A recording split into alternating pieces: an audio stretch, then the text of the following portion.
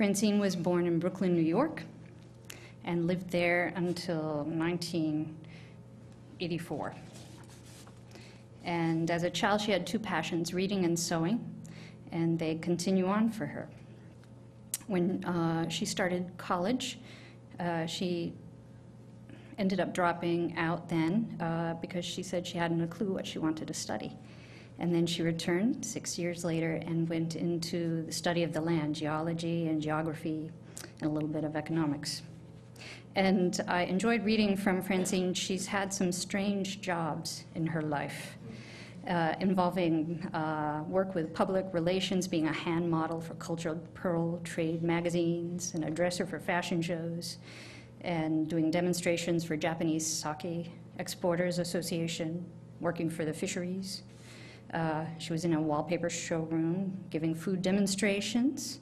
And the most bizarre was a temp job for CBS in the executive suite, sitting alone in an office for mm, a number of weeks uh, in a gray carpeted room with gray flannel wallpaper, and she never met a soul there. No one ever called, and her job was to be there in case anyone did. and Francine said it was summer, so I guess they were all in the Hamptons or something. Francine started writing some poetry in high school, but really it started uh, coming across more regularly for her when uh, she was in a women's writers group in 1999, met some women uh, power forces of poetry in Worcester who influenced her to go out on the open mic scene and get involved in workshops. And she became involved in the Worcester poetry scene, which is really impressively active. Um, and uh, she's now involved in the Worcester County Poet Association. And uh, she noted she's had the chance to get to know some of the Worcester uh, poets, such as Frank O'Hara and Stanley Kunitz and Elizabeth Bishops. Now she's been involved in a lot of writing and performance and educational pro projects ever since. Uh, such as being involved with the Worcester Art Museum and doing a collaboration of their poetry and uh, the paintings and putting an anthology together and doing readings. And her poetry's appeared in a number of publications, and she's been the recent uh, recipient of the 2009 Worcester County Poets Poetry Writing Contest. When I asked Francine, what do you think about life that inspires you to write, she said, I think my poetry often reflects how amazed I am at the connectedness of things, how places you go and people you meet create the patterns that make up your life, how your relationships with these events and places and people make them related to each other in amazing ways. So we look forward to hearing uh, the words and the connecting that Francine has to offer us this morning. Please help me give a warm welcome to Francine D'Alessandro. So just, just to clarify, I'm not quite old enough to have personally known uh, O'Hara Bishop. I did meet Stanley Kunitz on a couple of occasions, but um, I, to know their work. And if, if not for the Worcester County Poetry Association and my friendship with the people there, um, that probably would not have happened. I was thinking about what I might read uh, today, and I'm hoping it's sufficiently connective uh, to live up to that wonderful, uh, wonderful introduction. Thank you very much, Cheryl. Um, I'm going to start with a spring poem, and uh, hmm, one thing you need to know if you don't already, neatsfoot oil is uh, something you use to condition the leather baseball gloves, and uh, that's all you really want to know about neatsfoot oil. Uh, it's called Baseball Again. Spring again, and the stumble drunk bumblebees plunder the azaleas. Spring again for worms dislodged from winter burrows, threading through and through earth until plumping up the robins. Winter is spent, and saplings lark about the greening sod and gangly tangles of growth spurts and garbled choruses of uncertain pitch. This is the season of backyard ball, of neatsfoot oil and ground rule doubles involving storm drains and neighbors' dogs. This is the season of messy, muddy, chirping, whooshing, thwacking, whooping, crashing. First broken window of spring again, rejoice. So I do, uh, I did grow up in Brooklyn. I lived there actually until I was 10 and then lived in other boroughs in New York uh, before I moved to Boston. And um, I do write a lot about living in Brooklyn, about my friends, about going to Catholic school. So I'll read a couple of those. I should check to see when I started. Uh, I don't know how many of you remember the show Welcome Back, Kotter.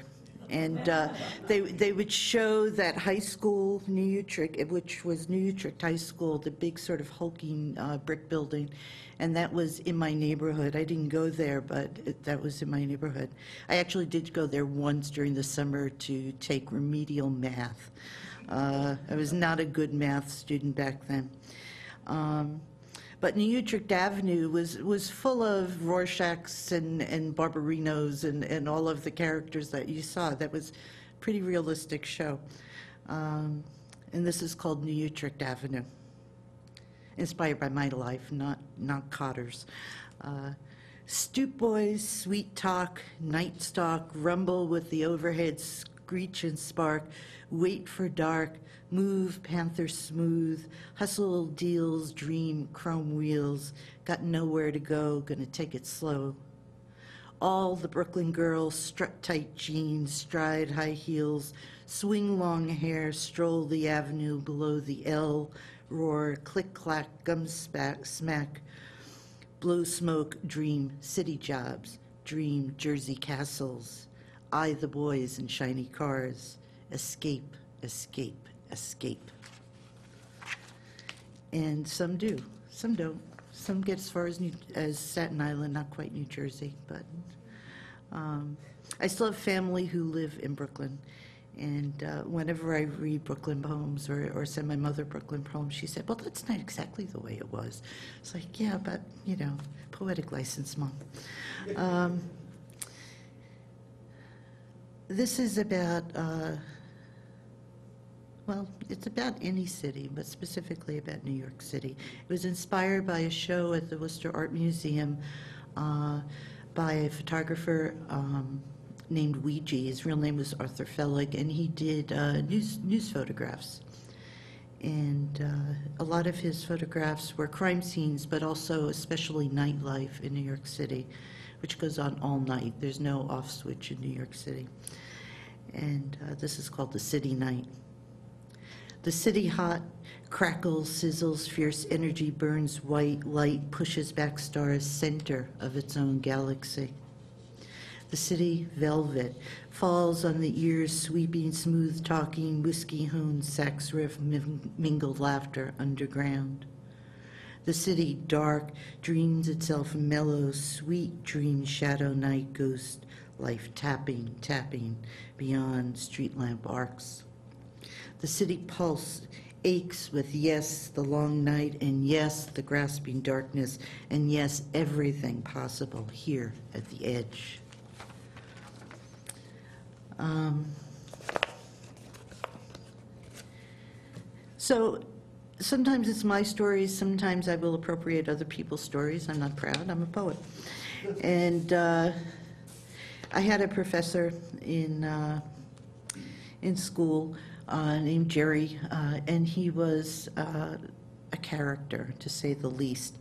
And uh, I went to school at Hunter College, which is right in the middle of Manhattan, so it, it presents a lot of opportunities for uh, creative education, of which the Friday Afternoon Institute was one, and that meant any class meeting in Friday afternoon met at uh, O'Halloran's bar instead of in the classroom. And uh, Jerry would tell these very colorful stories of his past in the Navy and working for the government and uh, being in graduate school. And uh, there was one that we heard so often that everybody else could tell it themselves. Uh, they didn't even need him to tell the story anymore. And we still do. Uh, and this is driving through Kansas. The boys racing toward the dry county, still wet behind the ears, damp, soggy, stinking is what they were. Boys flying through the middle of the night, corn every which way, dark road pointing them home. The car still made like they used to when car remi- cars remembered from the war how to beat tanks, and no one saw the cow until it tore that Chevy into a convertible. One boy looked up from sodden sleep and swears to this day as he tells the story, his only thought was not of Chevy convertibles or the corn whipping his ears or even that they would have to pay for the cow, but only how the glass was like loosened stars as he fell into the sky. Um, my friend Philomena uh, had a grandmother who was a character. Philomena was a character in her own right, and she got came by it honestly because her grandmother was a character. Lived alone, uh, very elderly, on a farm in Pennsylvania, and uh, died in a way that you don't really expect uh, folks to die at that age. Uh, this poem is called Philomena's Grandmother. Philomena's grandmother died. It was the fall. She was baking pies out there on the homestead. Children gone, husband gone, 92 years gone. Sunday, church ladies came along to collect her and those pies. She lay some distance from the ladder, apples spilling from her apron, leaves wreathing her white hair like some druid priestess. They could see right off it was the fall and called Philomena. Imagine, they said, climbing trees at her age. Yes, said Philomena, imagine. Um, I'm writing a book right now. I don't really know what kind of a, whether it's a chapbook or something I'm actually going to try and get published. I'm not really sure but I'm kind of chugging along on it. I thought it was finished last year and it wasn't. And I thought it was finished this year and it wasn't. Uh, but I'm having fun with it. And uh, it's about some amazing trips I took out west, some driving trips, uh, which you do when you're in your 20s. And road trips are, you know, sort of what you do, and you don't need much excuse to get on the road. Somebody says something, and before you know it, you're you know, in a van driving four states away to eat pie. I mean, it doesn't really matter. I don't know if people do that anymore. Maybe gas is too expensive for kids to do that now. Uh, this is the poem that actually won the uh, first first prize at the, in the Worcester County Poetry Association contest in 2009, and um, it's called "Greetings from Bryce Canyon."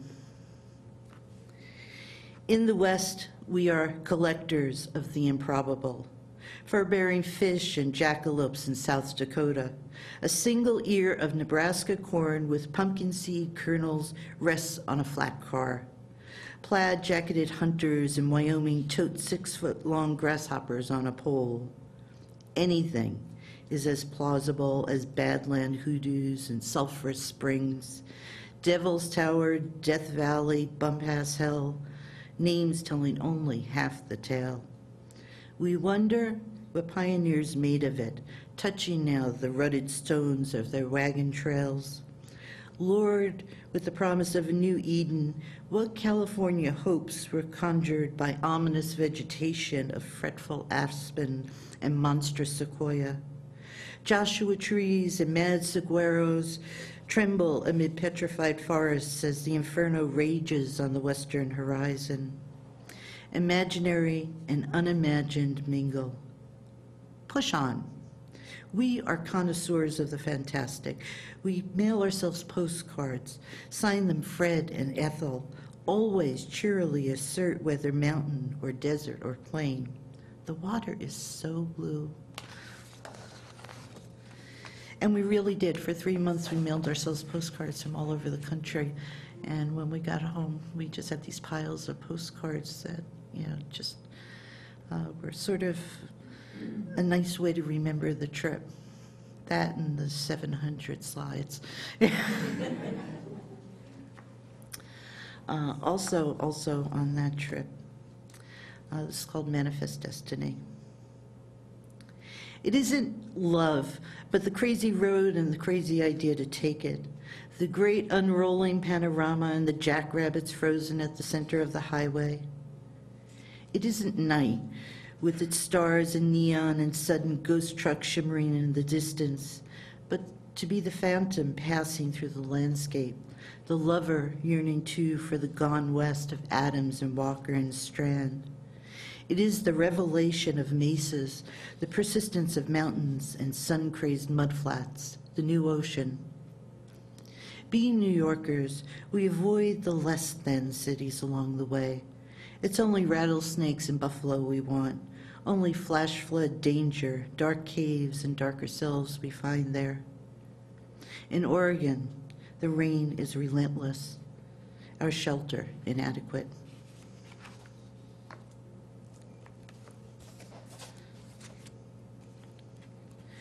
Um, I'm a little obsessed with the Donner Party. I think I have, Cheryl, do I have five minutes more? Uh, I'm a little obsessed with a couple of things, the Donner Party being one of them, and they turn up in a lot of my poems. And uh, there's a great quote from Virginia Reed, who was a Donner Party survivor, and this is from a letter um, that she sent to her cousin after finally reaching Sacramento. And uh, part of part of what she says is um, never take no cutoffs and hurry along as fast as you can. And um, this is called travel advisory. To be named death in the West is not enough. Defeat, desolation, despair, none will deter the curious step which loves the treacherous crevasse as truly as the inky bog and brittle skim along the turquoise pool. All signs warn against straying from the path. All else is seduction.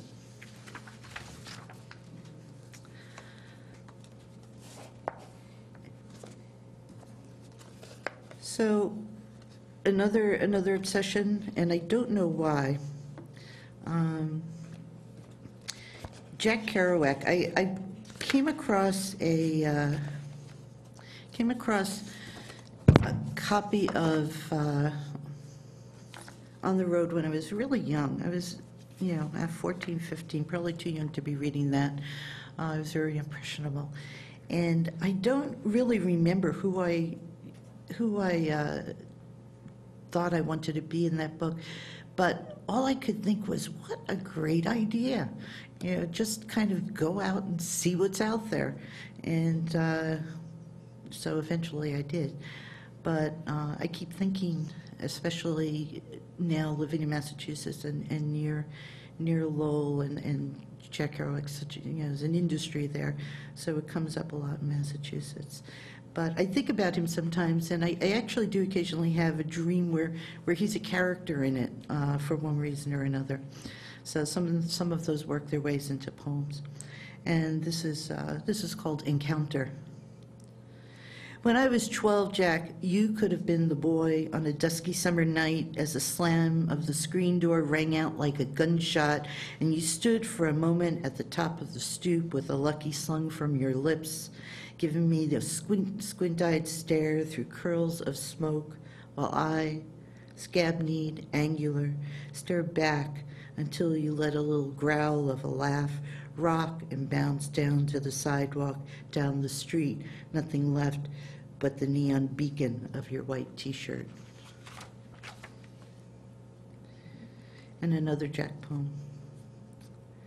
Jack, I don't know if I trust you. Oh, this is called Near Sleep, I'm sorry.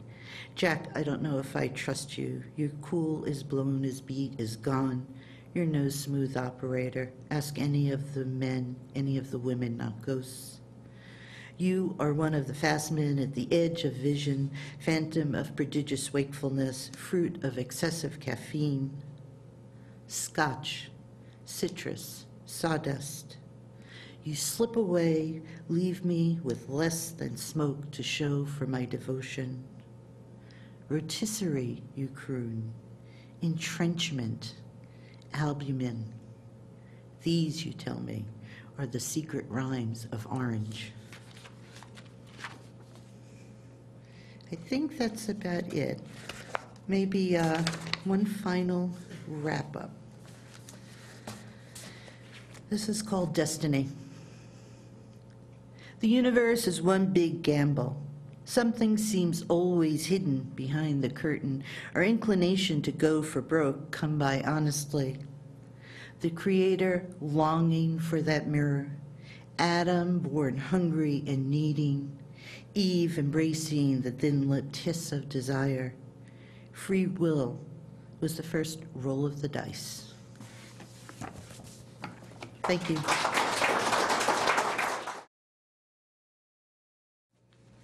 Now we are moving along in the program, and I am happy to now introduce poet Roger Martin.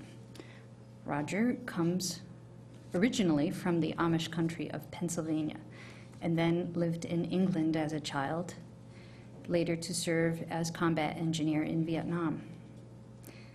Now living in New Hampshire, he has spent many years teaching both in Massachusetts and in New Hampshire, including a journalism course at uh, Keene State College. We edit me, so don't worry.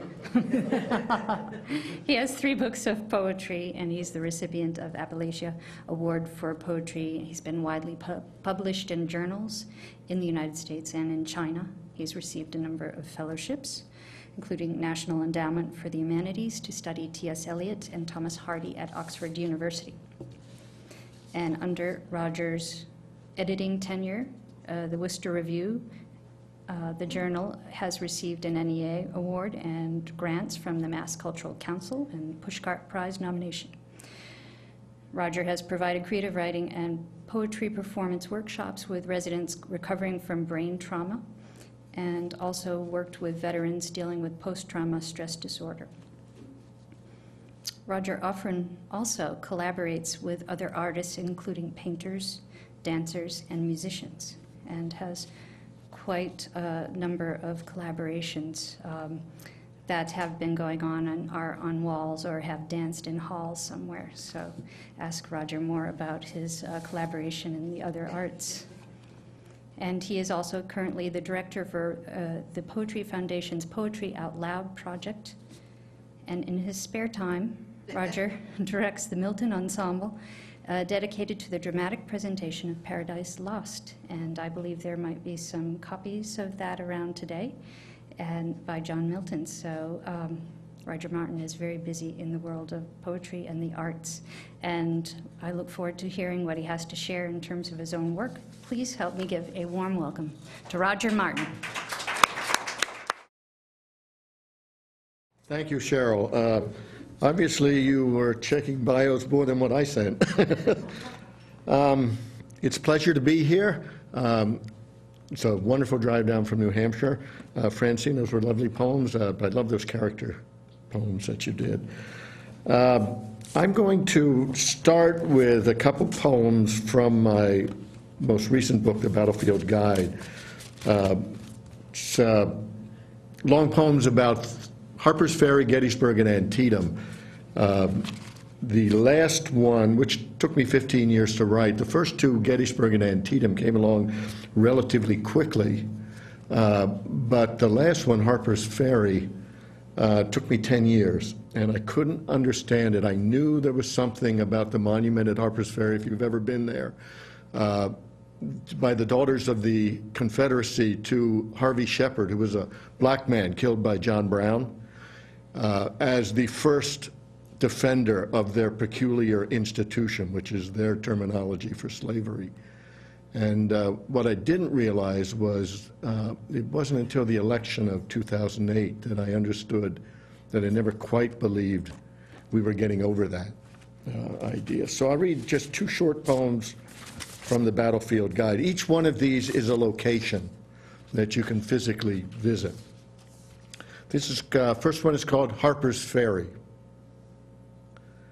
Striated slate foundations squeeze themselves flat, like the pages of a national Bible, the book, layer upon layer, locked in shale, stacked from shoal to ridgetop, is the story of ourselves lit by the fire of gas lamps and determined by the push of the waters, as much needed to tame a continent as desire.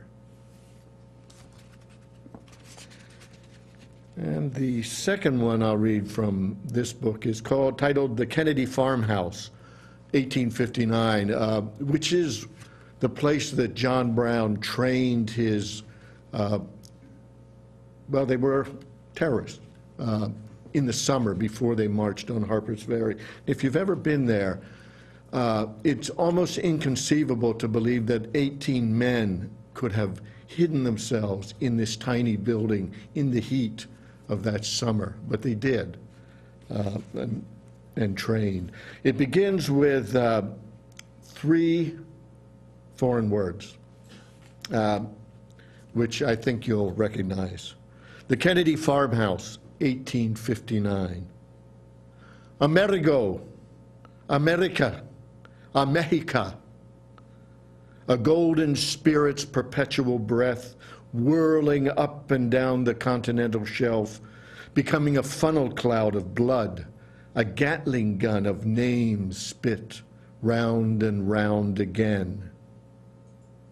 And here, behind logs split and whitewashed, chinked into the humid Maryland heat, 18 men, boxed like cartridges, into the attic rooms fields here all slope towards subsistence. And if one cannot grow wheat, one can grow angry. Add the gravity of morality, and the bile rolls downhill to the river, where its all splatters against the firehouse at Harper's Ferry. A century and a half later, under the cold light of a Texas barracks, when things go wrong, like one forgets where one hides his wallet, it is still easy to blame a spick, black even better, than to admit stupidity. So there's two from my most recent book. Um, an earlier book is called the Blue Moon series. I'll read two from that. Uh, this is a book uh, dedicated to one poem to each of the 14 full moons in a lunar cycle. Uh, I always thought poetry books should be designed to read one poem at a time and small enough to fit in your pocket. So we had this one printed small. Since it's May, I'll do the May poem. Um, and it's titled May the Panther Moon alone in my sister's house. It is 2 a.m. The barred owl's sharp notes cadence on the clefts of the moon. They shiver through the screening, dark enough to become shadow between the light, prowl through the garden or the upstairs pantry when a moon has depth, and Minerva's bird calls clear and cold as death. Sleep eludes the living. And uh, I'll do a fall poem. Uh, since Bloomsday is coming up. Uh, this is called, uh, there's a reference in here to the Odyssey uh, and Odysseus' visit to the underworld. And of course, Ulysses is James Joyce's version. Uh, but it doesn't matter if you don't know those references. Uh, just think of blood sacrifice and zombies on a beach, and it works just as well. So this is called uh, November, the Morning Moon, Opera North. As evening darkens and the moon begins to thicken, the slow, slender, rising howl of a wolf pours onto the perfect pitch of November. Such want shatters the illusion there's something in this earth other than flesh and blood. Even an old man raking his master's green must go wild under its spell. It drives lost sailors to carve yard long trenches through the fog and ice of fire rimmed beaches and bleed them full and let shade after shadow slather their lips with blood, just to hear again the voices, those shaped notes, that throat song of their mother, the melodic high seas that, if their ears remain unplugged, might bear the vibrato of what is lost. Or their boys who run from opera to hide in the rhythms of a swing set, watch grandfathers slowly roll their cigarettes. But those voices snuff too, one by one, and the pendulum of a swing set, the comfort of its arc, can no longer scribe the physics to overwhelm that silence. Boys, too, long for voices and so find fellow soldiers, a tenor, a vibrant baritone, the harmony climbing beyond the rifle pit, lifting to the temple of a purple evening. Even the enemy pauses and listens for one lost time. Now, old, old man, the wolf's lunar homage complete, your raking done, find night. The wolf waits gently, your hand on its ruff. It pants easy in the blackness, soft chorus, cool nuzzle, warm fur, faithful, faithful rest. And while we're talking about canines, I know you're all wondering what this is. Well, I want to give uh, a shout out to the uh, students at the Bedford Memorial School who provided me with barley, and also to uh, dedicate this to X.J. Kennedy, who I had brought to a reading, and I know he's read here too. Uh, back in 1974, when I taught in Massachusetts, and uh, he taught both me and the students that if you're going to call yourself a poet and you ever go to Ireland, you had better be able to sing. uh, so this is a poem by my dog Barley, uh, who lives in New Hampshire. And uh, what I discovered uh, is that in New Hampshire, even the dogs write poetry, uh, but they write it in dog. So he had asked me to translate it. And what I discovered was when you translate dog into English, you also have to be able to have a melody. Uh, the good thing about being a poet is I don't have to be on tune. If I called myself a singer, I would. So this is a poem by my dog Barley, okay, titled uh, Truck Driving Dog. I'm a truck driving dog, and there ain't nothing in this world that I love better than to jaw a shiny bumper pickup right off of my road howling at the moon, arfing at the rubber, rolling under the lubber. Who thinks he's got me covered? Yes, I'm a truck driving dog. Give me a Pirelli on a Monday, a Michelin on a Tuesday, then a good Goodrich, Goodyear. By Friday, I'll chomp at the best steel radial in the whole wide world, cause I'm a truck driving dog. And on weekends, while the boss picks up for the dump, where my Bessie growls at all the hounds and gives the blues to the seat of my rump. So I sniff her once or twice while the boss recycles his trash. And before he's gotten his garbage away, we've had her quickly bitten bash, cause I'm a truck driving dog. And there ain't nothing in this world that I love better than to jaw shiny bumper pickups right off of my road. Oh, she's a loose-jowed, shaggy wench. Still, I love her just the same, 'cause she's never had the rabies, and her arthritis has got her lame. Yes, I'm a truck driving dog. You see, my life is dedicated to the things I itch to do. So if you cool cats don't like it, then it's rough, tough canine poo to you, 'cause I'm a truck driving dog. You see, my life is dedicated to the things I itch to do. So if you cool cats don't like it, then it's whoops, rough, tough canine poo to you, 'cause I'm a truck driving dog. And there ain't nothing in this world that I love better than to jaw pickup trucks, flea bit hounds, fuzzy cats, Reebok pumps, so stay off of my dirt. Grrr. So, well, that's uh, a poem by my dog, Barley. Uh, and again, without X.J. Kennedy, who knows? I may never have translated them.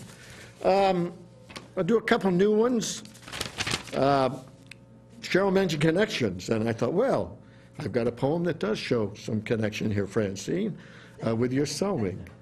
This is called The Last Leather Thimble in Peterborough, New Hampshire.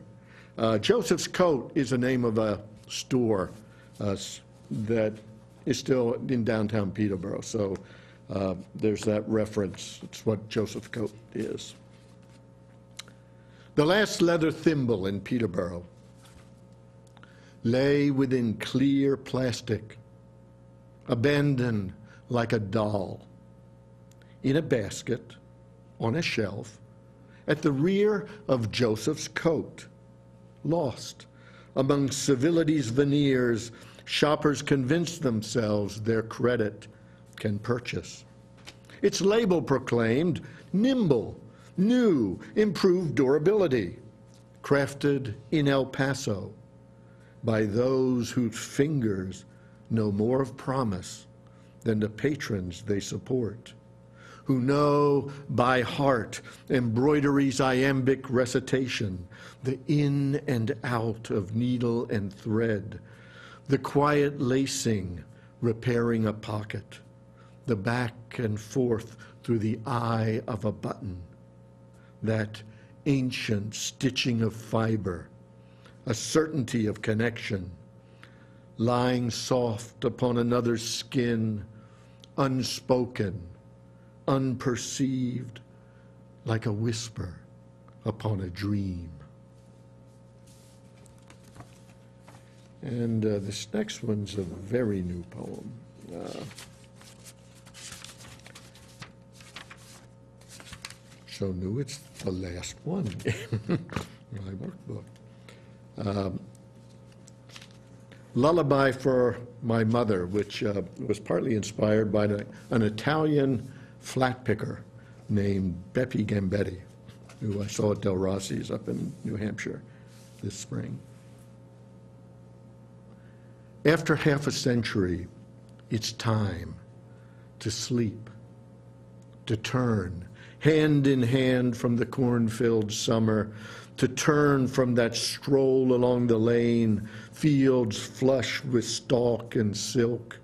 Time to turn under the stars of an ancient guitar, strummed by a tall and bearded, balding man from Italy.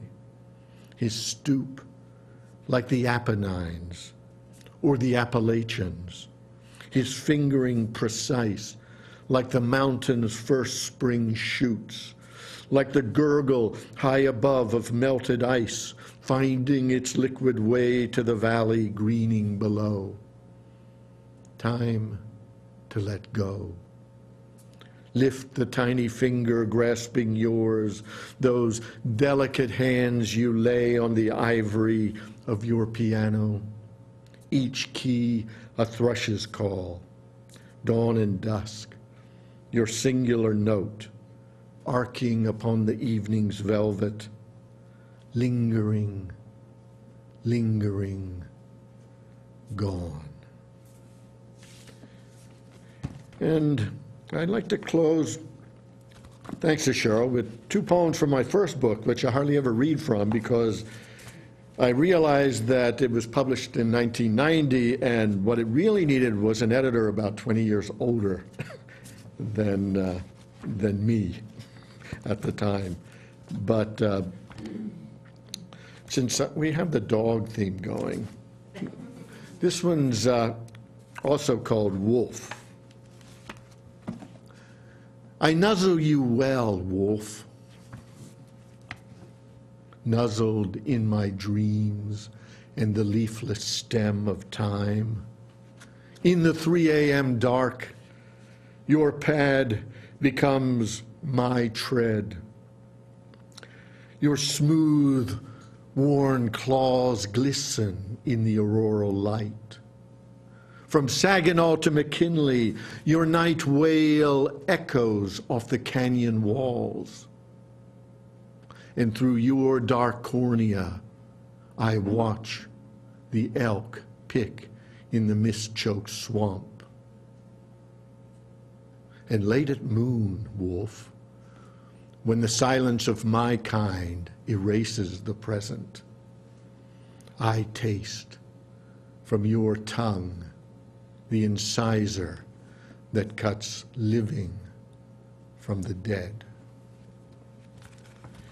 And I'll close with, um, mm, where is it?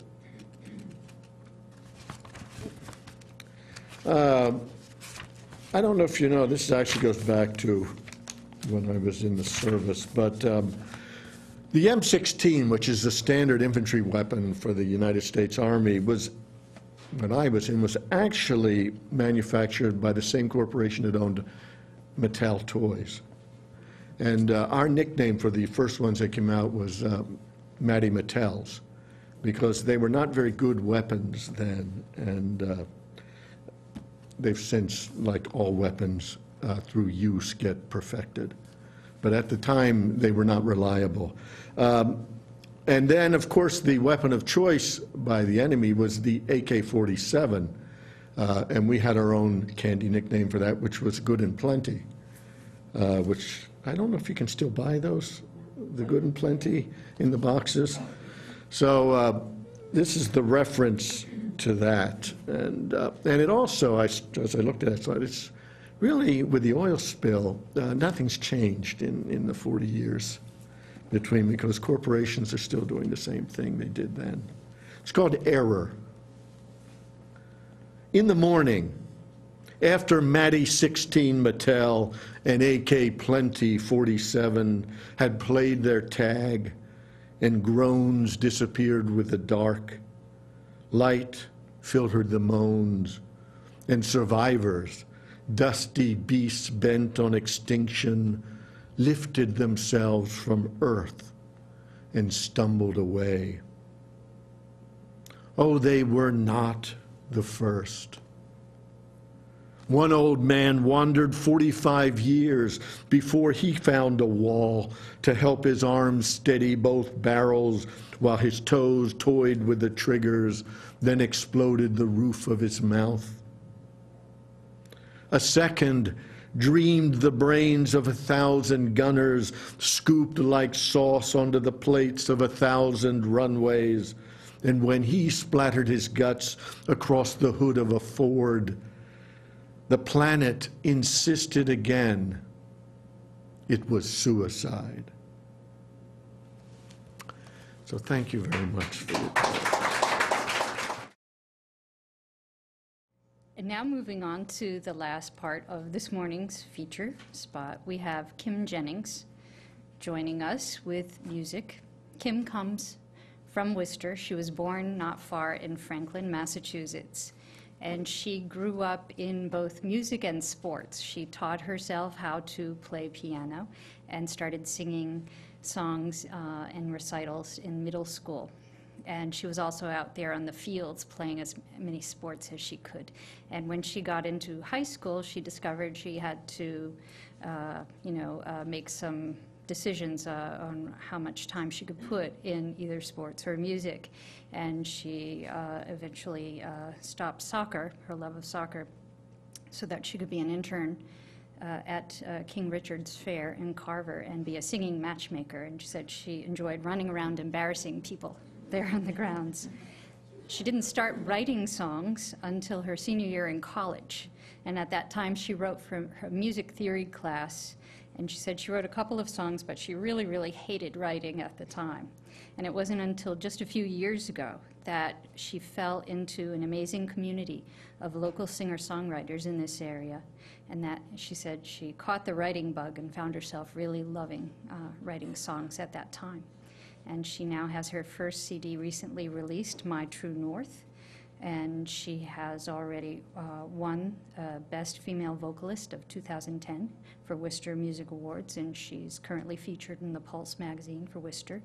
And she has helped to found the indie record label Birch Beer Records with fellow singer-songwriter Dan Cloutier.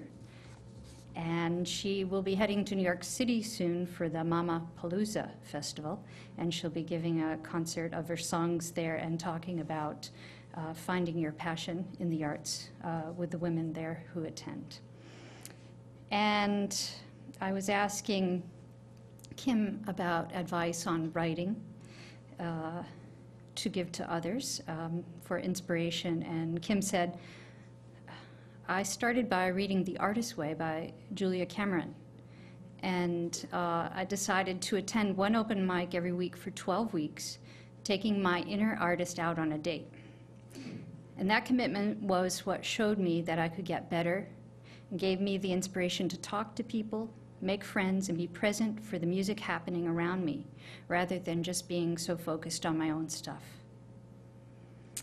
And that she found that she, uh, getting better uh, at anything requires that you keep on doing it, even when you are having a tough time of it.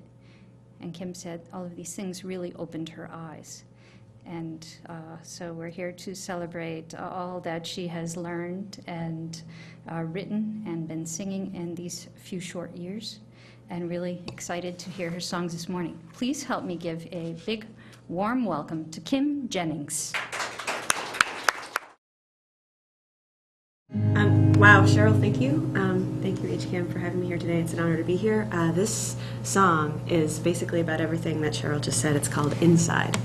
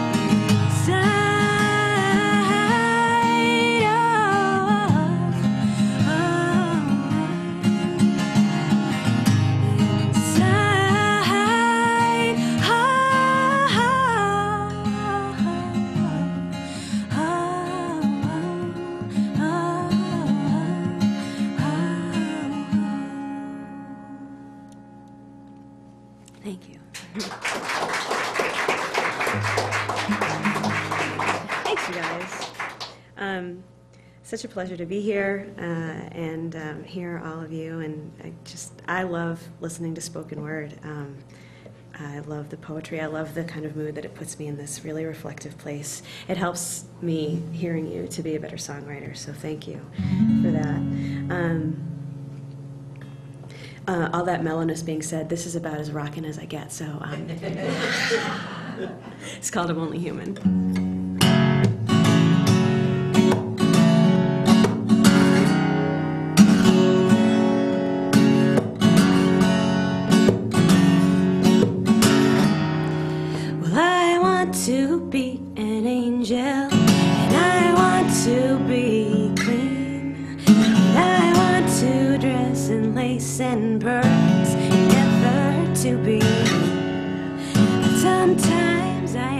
Devil, and I dress in red and black, and I'll run straight down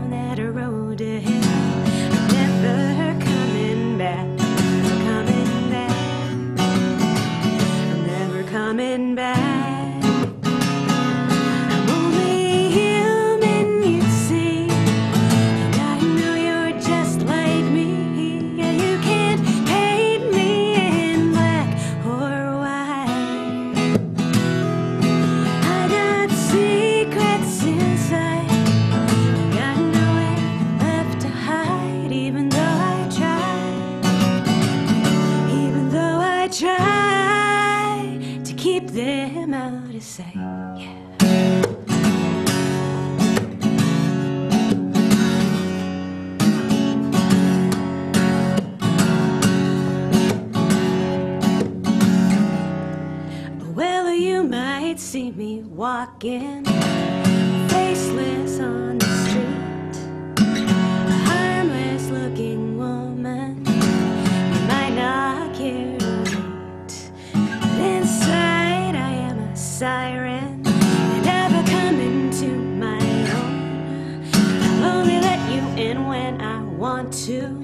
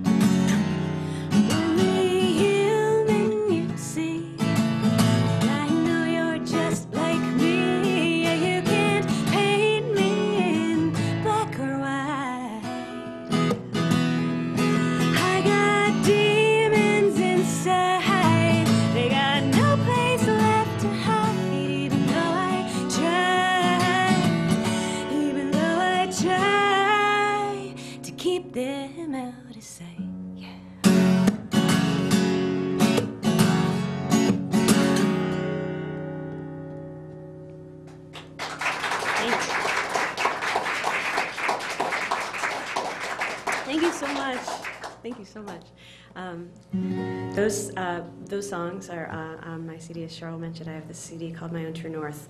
Um, the process of making uh, any product that is, as you say, set in stone. What a fascinating thing as an artist. is it not true that we're always like evolving our stuff? And um, it's fascinating to to kind of see how my music is in that kind of place and time. And even just after that, like it almost freed me to be able to kind of do different things with my songs. And what a what a really wonderful thing um, that that to be able to do that. Um, this uh, this song. This is my. Uh, this is what it feels like to jump out of a plane song. So, if you can imagine how talk about freeing. well, you have to do it with parachute, otherwise you don't really feel good. Um, but uh, I went skydiving several times um, years ago before I got married and had a child of my own. Uh, kind of makes it important to really be around. But um, yes, so I went um, skydiving a bunch of times, and it, not until like kind of becoming a songwriter, and I knew I wanted to write something because that experience. I mean, talk about connectedness. You're, you know, thousands and thousands of feet in the air, um, so far removed from Earth, and it, it was a time in my life that I felt probably most connected to the world, the farthest away that I've been, and I felt the most connected to it because I got a perspective of life um, that still to this day hasn't left me. And on a day like today, on a beautiful, beautiful sunny day with the breeze blowing just right, I still feel like that, and I want to share that with you today. So this song is called Jumper.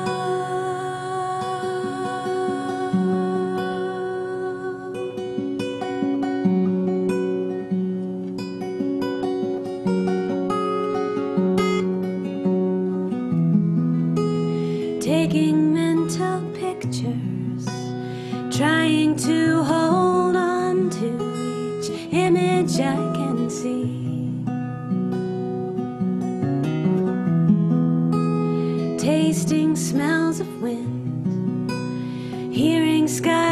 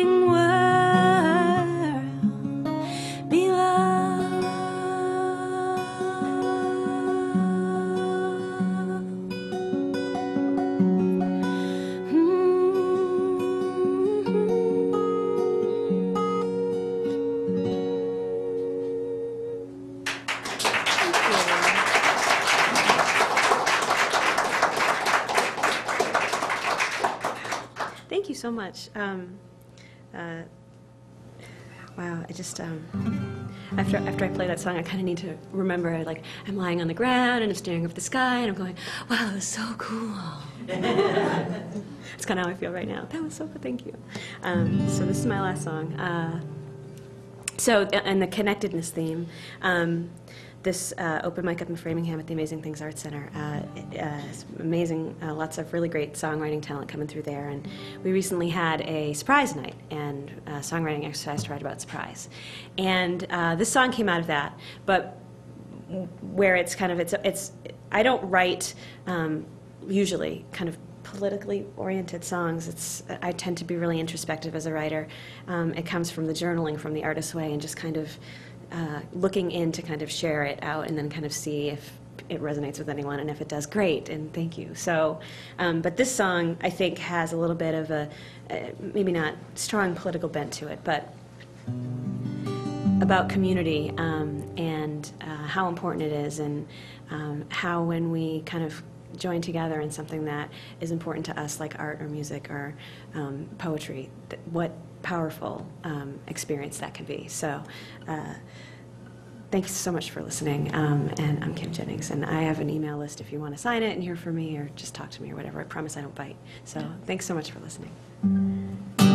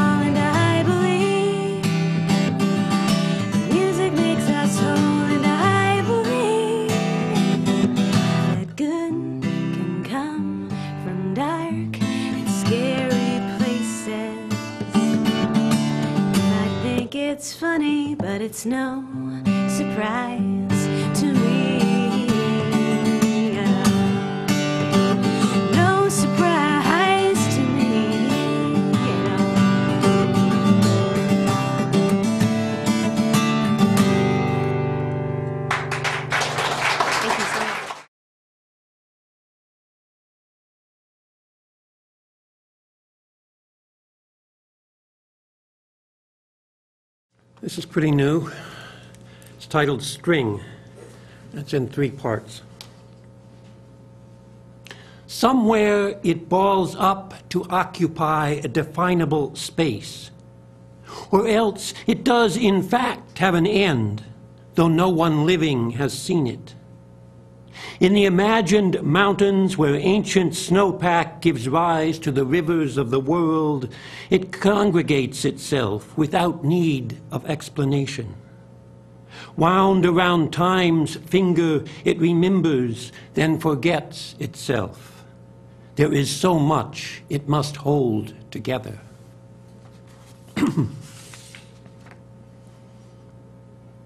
Coiled in the springs of a thousand clocks, it may be snared by escapement and bitten off into finite lengths, where you find it sometimes, unexpected, on the forest floor perhaps, buried in dark, pungent humus, or up in the canopy of leaves intertwined with branch tangle, or maybe even in the water, a glimpse only amid the flashing royal of a snowmelt stream. Listen, there is nothing new here. Each breath connected to the last, so that we become ourselves again and again, each word carrying us where we have not been, gates of the temple always just out of reach. If you find the string, grab it, flip a coin, move in one direction or the other. Thanks. So this is the poem that jumped out at me this morning. It's my only poem about Worcester, and it's about the Worcester Art Museum. So I thought that was a nice connection. I didn't really know we were, were going to have a Worcester connection today. Turtle Woman. Turtle Woman is encased in plexiglass, holding forth on the top floor Mayan exhibit of the Worcester Art Museum. Her warm brown clay preserves Earth's energy, her broken arms crying pain, her feet firmly planted, with round front of pregnant turtle shell, and without a sound. Turtle woman lays her eggs, then finally bursts forth, shattering plexiglass case, leaving Mayan exhibit behind, down the elevator and out the front door, waddling quickly now, smelling mud, reeds, swamp, seeking return to river. Mission accomplished. Now Turtle Woman needs to return to cool green water, having left her glistening eggs of uncertain future behind.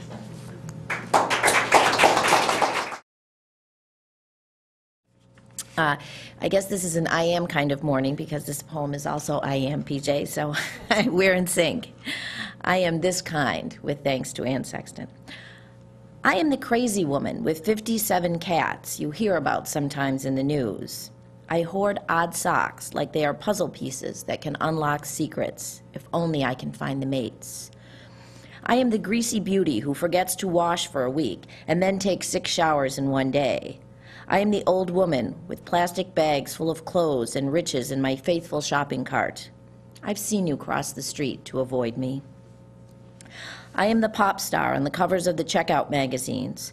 Your daughters want to dress like me, and I always want to be a pretty kitten in the spotlight. I am the smart girl who wishes for boyfriends but earns degrees. I am on my way to shattering the next glass ceiling. I am the last to leave a party and the one who stays in the kitchen cleaning. I am the woman who goes to the grocery store every day and has no food in the house. I am the girl with big dreams. I am a ballerina smoking a cigarette. I am Godzilla, Glinda, brazen Goldilocks breaking down doors, Gretel shoving the witch in the oven. I am the baking witch. I am the smiling face behind the wheel waving to you as I, as I pick up my children on time from soccer and karate. Thank you. One of my newer songs. It's called Drawbridge.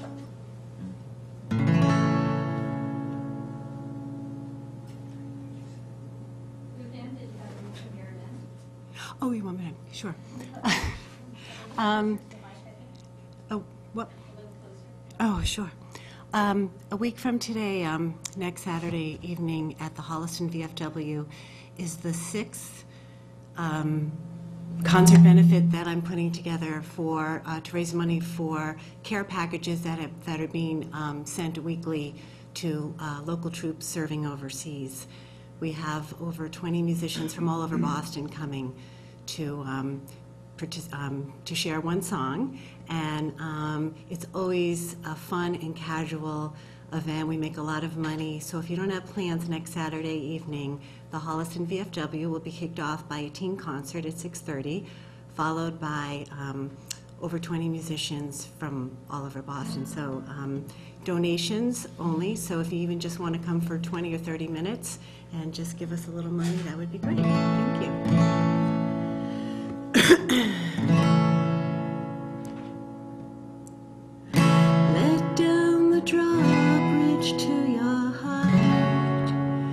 I will cross the waves in darkness until I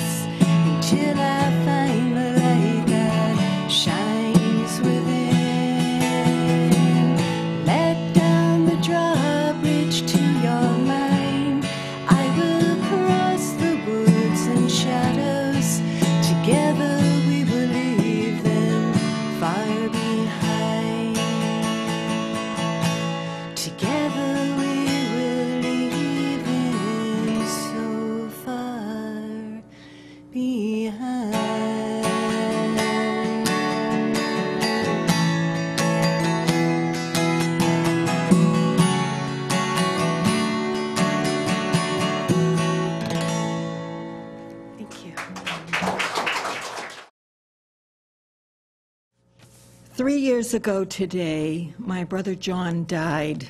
Um, he died six months after being given four to eight months to live.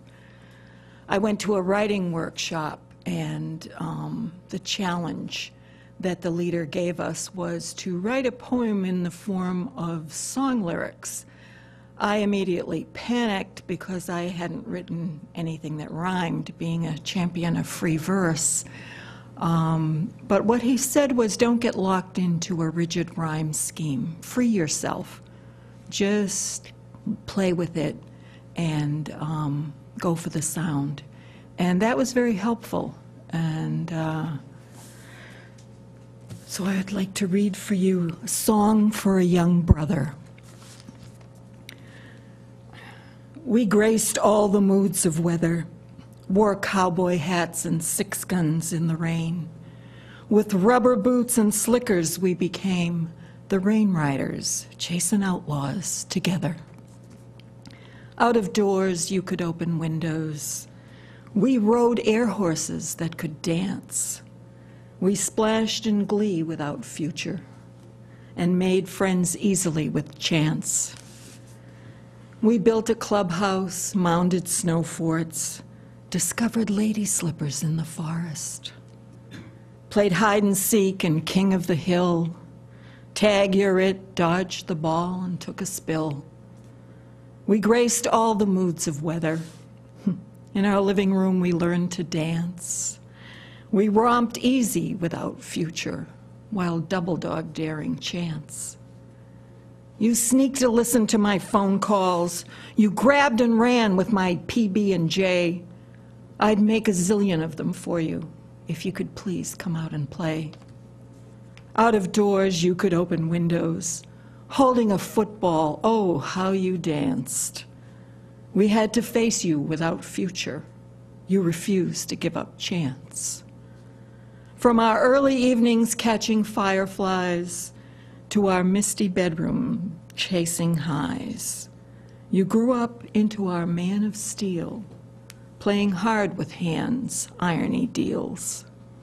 We stand all the moods of weather. Missing you, you left with chance. We sit here alongside future. Young brother, without you, we don't dance. We had to face you without future. We stand all the moods of weather. But oh, my dear young brother, we can't dance. We can't dance.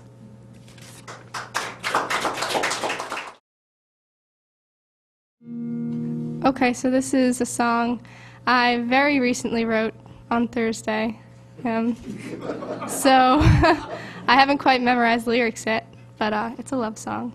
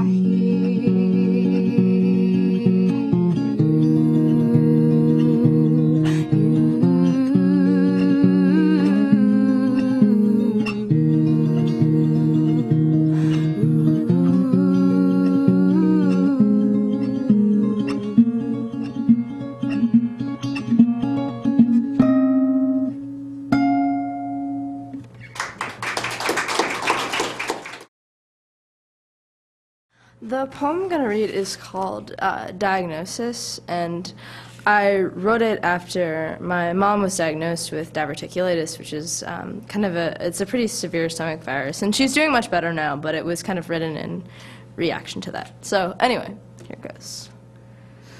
My mother is home, lying on the couch with the lamp turned off and reading the daily news. She is letting the tea calcify in pale ceramic glass as she chews her lips into startling formalities. And she has been languishing a long time.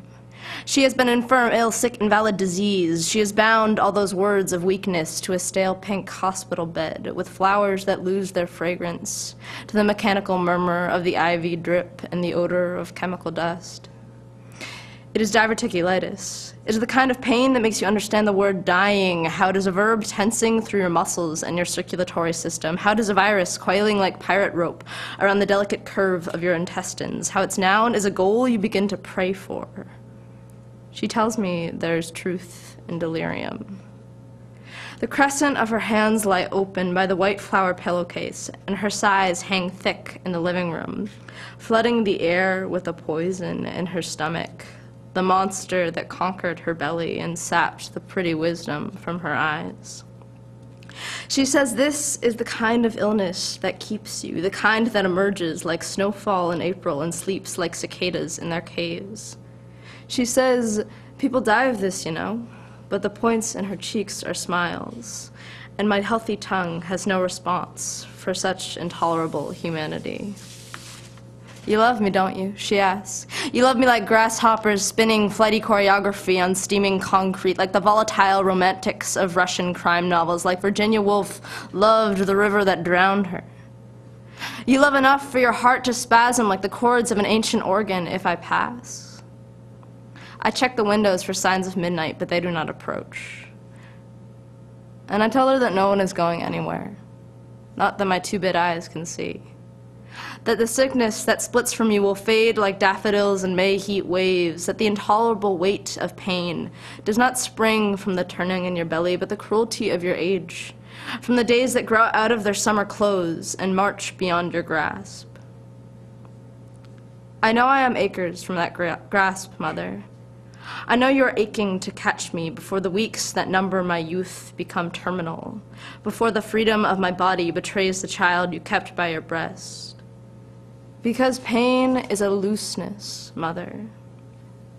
It is letting go of all that has held you clenched families and fingers and bones. Thank you.